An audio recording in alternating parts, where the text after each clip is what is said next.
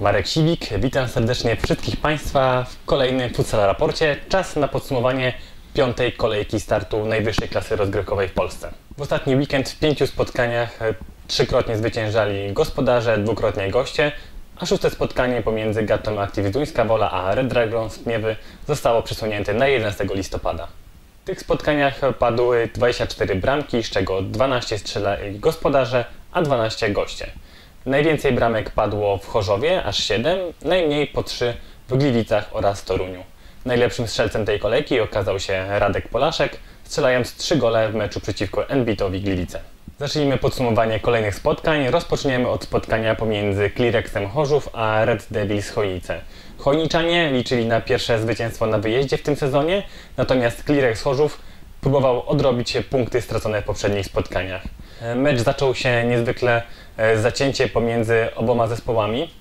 E, doszło do kilku wymian strzałów, jednak dopiero w końcówce pierwszej części meczu do siatki trafił Wojtyna. W drugiej połowie szybko chorzowianie podwyższyli wynik na 2 do 0. Strzelcem bramki z rzutu rożnego był Mirosław Miozga i w tym momencie Chojniczanie już wycofali bramkarza. Szybko bramkę kontaktową na 2 do 1 zdobył Sebastian Wojciechowski i wydawało się, że Chojniczanie zaczną odrabiać straty. Nic bardziej mylnego, w tym momencie do głosu ponownie doszli Chorzowianie. Szybko dwie bramki zdobył Golly, a wynik podwyższyli później jeszcze Budniak oraz Omylak i tym samym Chorzowianie zwyciężyli na własnym parkiecie z liderami e, rozgrywek Red Devils Chojnice aż 6 do 1, dając tym samym sporą niespodziankę na inaugurację piątej kolejki.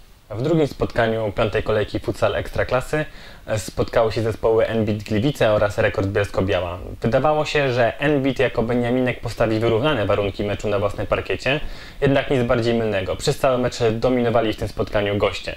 E, Strzelaninę bramek e, rozpoczął Wachula, następnie dwa gole dołożył Polasek, a w pierwszej połowie czwartą bramkę dla gości zdobył jeszcze Rafał Franc.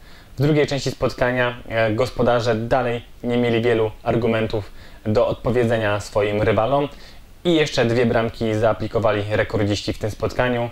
Strzelali Popłaski oraz jeszcze raz Polasek i tym samym bez bramek w tym meczu byli zawodnicy Enbitu Gliwice.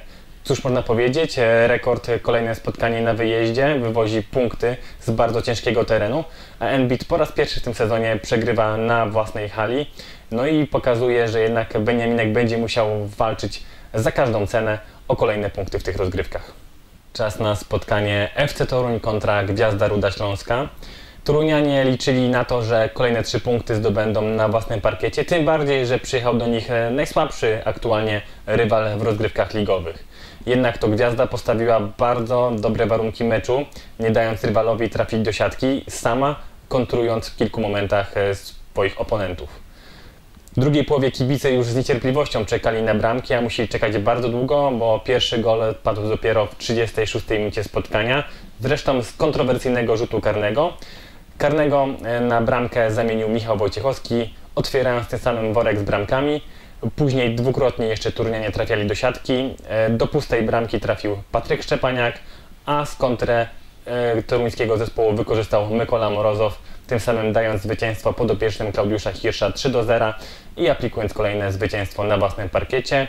Tym samym FC Toruń ma już 9 punktów i zajmuje czwarte miejsce w tabeli, a Gwiazda Ruda Śląska piąte spotkanie, piąte bez punktu, dalej Grudzianie są czerwoną latarnią ligi.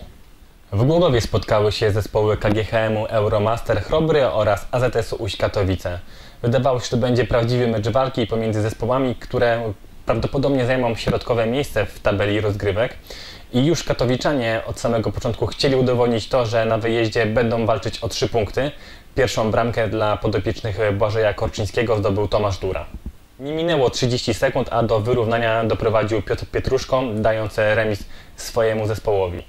Jednak jeszcze przed przerwą e, drugą bramkę dla Katowiczan zdobył Barański i tym samym do szatni to Katowiczanie schodzili e, jedną bramkową różnicą w tym spotkaniu. W drugiej połowie już jednak gospodarze zdominowali sytuację na parkiecie.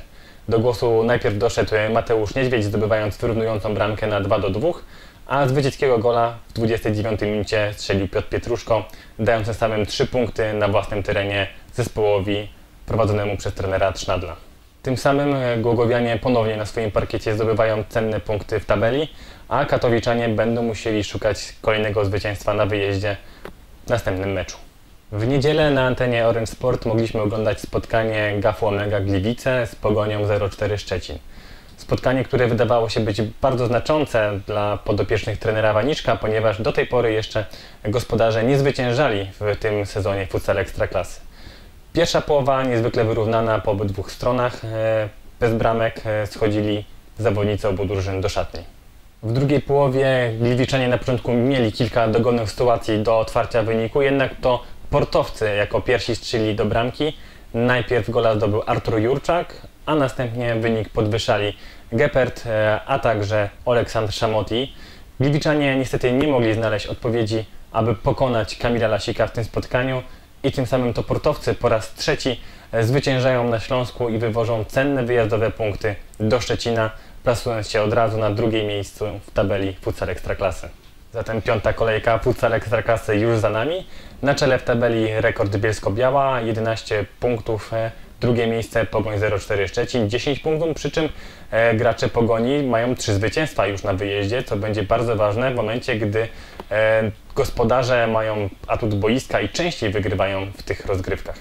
Na dole tabeli 11 miejsce GAF Omega Gliwice, 2 punkty, 2 punkty wywalczone u siebie na parkiecie, remisami z rywalami.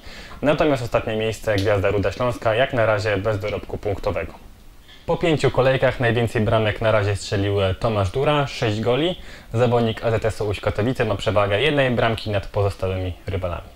Z kolei najładniejszą bramkę w tej kolejce zdobył zawodnik Klirexu Chorzów Tomasz Goly na wynik 3 do 1 w meczu przeciwko Red Devils Chojnice. Przejdźmy do najlepszej piątki tej kolejki. W bramce ustawiłbym Kamila Lasika. Zawodnik Pogoni 046 miał bardzo dobry mecz przeciwko e, Gafowi Omega Gliwice, no ale ważne jest również podkreślić to trzeba, że w czterech ostatnich meczach e, Lasik wpuścił tylko dwie bramki. To jest naprawdę sukces tego bramkarza.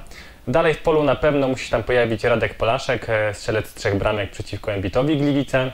E, Następnie widziałbym również e, Mirosława Miozgę, doświadczonego zawodnika Klirexu, który naprawdę miał duży wkład w zwycięstwo swojego zespołu przeciwko Red Devils Chojnice.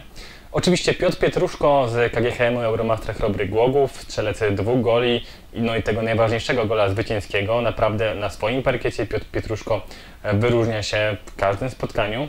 I czwartym zawodnikiem, jakiego bym widział w piątce tej kolejki, to Aleksandr Szamoti, zawodnik, który strzelił trzecią bramkę w meczu przeciwko Gafowi Omega Gliwice.